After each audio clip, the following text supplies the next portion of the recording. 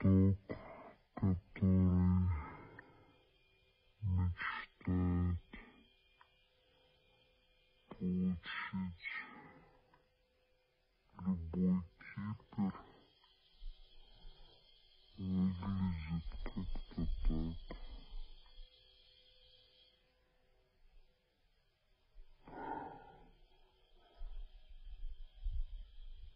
так.